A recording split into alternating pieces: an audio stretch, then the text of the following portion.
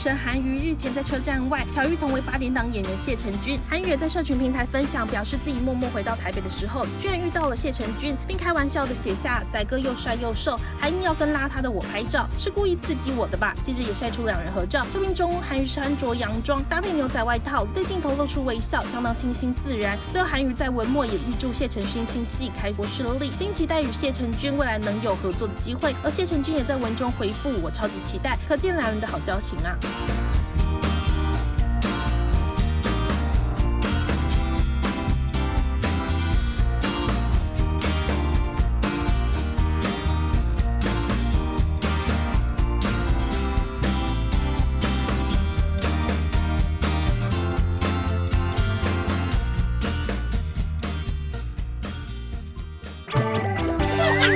Bye.